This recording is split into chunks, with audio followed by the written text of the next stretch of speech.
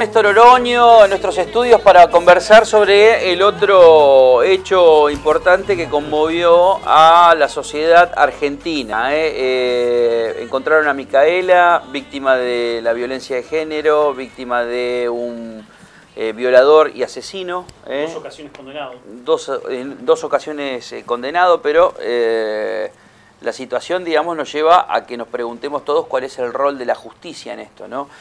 Eh, porque está en boca de todos el, eh, la función que ha tenido justamente el juez Rossi.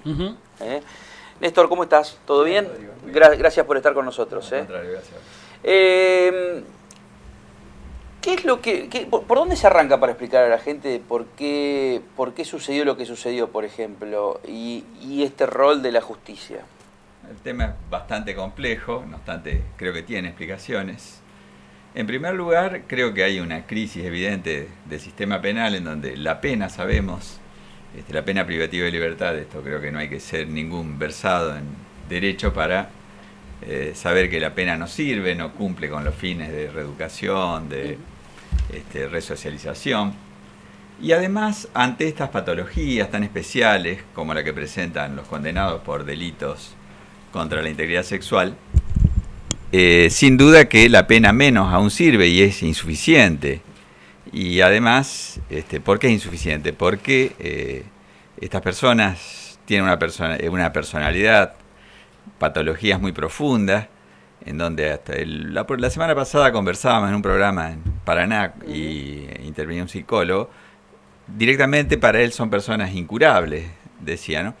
Pero, y es ahí donde creo que fallan los sistemas de control sobre estas personas. Si pensamos y seguimos esta opinión médica que nos están demostrando que son incurables, creo que este, cobra total dimensión eso que es, eh, significaba en cuanto a la impotencia de la pena para tratar estas patologías eh, que deben ser mm, abordadas de otra manera, con controles más estrictos, criterios distintos a los que se utilizan para el resto de, los condenados. ¿Hay esa posibilidad en el país, Néstor? Sí, este, en primer lugar, la ley 24.660, que es la ley que regula la ejecución de la pena privativa de libertad, este, prevé un tratamiento especial.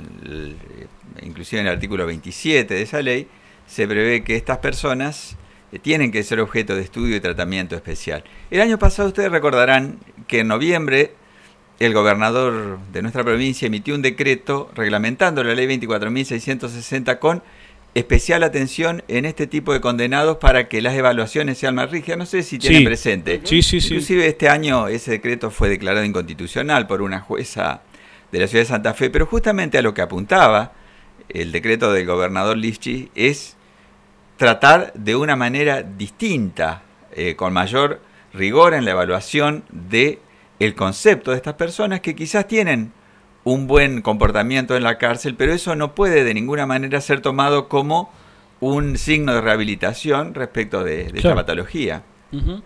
Eh, en, esa situación, si hay tres informes, yo le pregunto lo mismo que quizás le han preguntado ya en algunas otras ocasiones como hombre del derecho y de alguna forma proyectando la respuesta que pudo haber tenido el juez Rossi. Había tres informes, uno de un psiquiatra forense, otro de fiscalía, si no me equivoco, y el otro del servicio penitenciario. Exactamente. Que este, no son vinculantes, ya esto se ha dicho hasta el hartazgo, pero que aconsejaban no liberar. ¿Por qué el juez dice, sí, lo voy a liberar igual? ¿Cuál es, digamos, la visión que puede caber en ese sentido y por qué pudo haber pasado este, la decisión de la, de la libertad de Wagner? Eh, bueno, la justicia lo que dicen algunos este, de una manera simplista es que está contaminada por algunas corrientes eh, que identifican, la identifica fundamentalmente como este, con Zaffaroni. Y en gran medida es así. Yo veo que este, hay dos grandes discursos, uno que es el de ciudadano común, que quizás, obviamente, con los elementos que tiene, que no son todos, pregona la mano dura, un tratamiento más duro, y la respuesta desde el exclusivo resorte de la ley penal. Y otra, otro discurso que tiene gran predicamento en estamentos académicos, eh, de lo que yo llamo la demagogia de mano blanda, es decir, en donde este, parecería que eh, el derecho penal no sirve para nada, se le otorga un valor meramente simbólico, y yo creo que esa es una de las falencias. Evidentemente, si este juez hubiese actuado con un mínimo de sentido común y no quizás contaminado por esa fuerte influencia, este, hubiese observado como marca el más elemental criterio, hubiese observado este, esos informes y al menos no le hubiese dado el beneficio de la libertad condicional. Hay que tener presente que la libertad condicional no es un deber que tiene el juez de otorgarla, sino una posibilidad que va a depender, en algunos casos, de condenados por delitos comunes, fundamentalmente del comportamiento que hayan tenido en su vida carcelaria. Y de este tipo de condenados, cuando el juez pueda tener algunos elementos que le indiquen que realmente se encuentra rehabilitado y que no va a reincidir en este tipo de delitos. Hay, hay, una, hay una, mm, una teoría, no sé si decirle teoría, por lo menos al, al menos una corriente que de alguna forma va hacia crear un registro de violadores o abusadores con nombre y apellido, con todos los datos, obviamente. Eh, pongamos por caso el, que estamos este, debatiendo y que tiene que ver con Wagner. Wagner tiene un hermano gemelo. Sí, sí, exactamente. Este, ¿Cómo incidiría en ese sentido tener un registro de violadores en el hermano de Wagner? Este, eh, yo creo que, como decía, la, pena evidentemente es insuficiente para este tipo de condenados. Este, porque las cárceles no reeducan, no rehabilitan, no resocializan, eso es una verdad que, todos lo sabemos. Yo creo que hay que poner el, acento en dispositivos de control y de contención y avanzar. Eh, si seguimos a pie de puntillas aquellos criterios médicos que dicen que estamos ante eh, personas que son verdaderamente irrecuperables, esto lo decía un psicólogo muy, muy reconocido, que inclusive tuvo actuación en el caso del padre Graci, que también ha sido noticia por estos días, no recuerdo el nombre.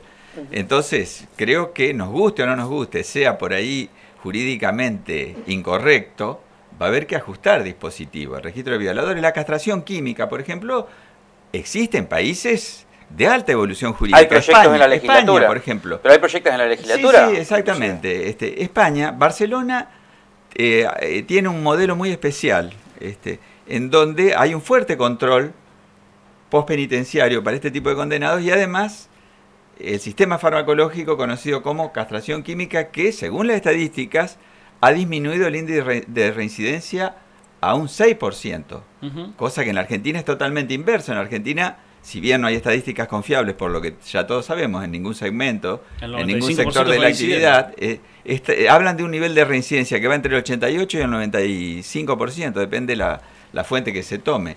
De ahí entonces que el registro de violadores, la castración química y el fuerte control postpenitenciario, además hoy tenemos posibilidades de control. Los dispositivos electrónicos, por ejemplo, que permiten monitorear los movimientos de las personas, son dispositivos que están al alcance Obviamente hace falta una fuerte inversión estatal, pero va a haber que avanzar a esos sistemas, aunque parezca, les reitero, jurídicamente incorrecto, porque el discurso jurídico navega este, por otro canal, que es muy distinto a lo que son las expectativas de la gente. Mm. Eh, ¿Cómo, eh, se empieza ahora por lo menos a poner el foco sobre los jueces? Porque hay un proyecto inclusive de Roy López Molina en la legislatura de terminar con el anonimato de los jueces. ¿Pensás que por lo menos este, eh, conociendo quiénes son los jueces que dictaminan este, los fallos que deciden sobre las personas, puede cambiar algo? Mira, Rodrigo, hemos hablado muchísimo con vos de temas de justicia y creo haber dicho muchas veces de que este, eh, dictar justicia es, en definitiva, realizar un acto de gobierno y los actos de gobierno tienen que ser conocidos por la ciudadanía. Eso es un principio fundacional de la República, eh, la publicidad de los actos de gobierno. Por lo tanto, un juez eh, tiene que, lo que hace un juez tiene que ser conocido por la ciudadanía, lo cual no significa que va a fallar de acuerdo a los humores de la ciudadanía. Existen en todos los países del mundo distintas formas de control ciudadano a través de Consejo de la Magistratura, donde hay este, participación de los distintos estamentos políticos, de la sociedad en general, yo creo que esa es la forma más eficaz y la que podemos tomar de los países evolucionados. Obviamente también hay, eh, que decir que el derecho no es matemática y que siempre este, la valoración va a ser distinta, la haga una u otra persona, porque se trata de criterios humanos que son falibles, en donde juegan cuestiones personales, valorativas, donde se priorizan intereses. Entonces nunca vamos a lograr una aplicación matemática de la ley. Pero está bien que la ciudadanía conozca quiénes son los jueces, porque los jueces resuelven cuestiones que nos atañen a cada uno de los ciudadanos en nuestra vida cotidiana. Este, y está bien que se sepa cómo resuelven los jueces. Eh, y existen además en la legislación argentina y en todas las legislaciones provinciales mecanismos, dispositivos para destituir a aquellos jueces que no han desempeñado correctamente la función. Ahora, hay mucho espasmo en esto, doctor, y mucha reacción efervescente del momento, este, con un contexto que obviamente este, fogonea todo eso. Eh, ¿Cuál es el riesgo de actuar plebiscitando este tipo de actos?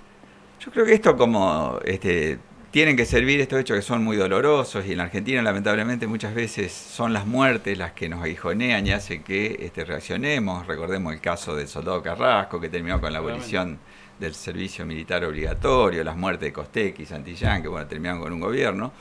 Este, creo que esto tiene que servir para reflexionar y para que la sociedad en su conjunto elabore políticas integrales. También creo que es un error pretender reducir esto a una cuestión propia del derecho penal. claro, porque lo de Bloomberg, lo de Bloomberg significó todavía un efecto directo sobre la, justicia penal. Claro, ¿qué pasó este, con eh, el movimiento encabezado por Bloomberg? Eh, se operó exclusivamente sobre la legislación penal endureciéndola. Los resultados están a la vista. Si, este, creo que, aunque no, aunque no existan estadísticas, la percepción general es que ha aumentado el índice de delictuosidad, de criminalidad en la Argentina.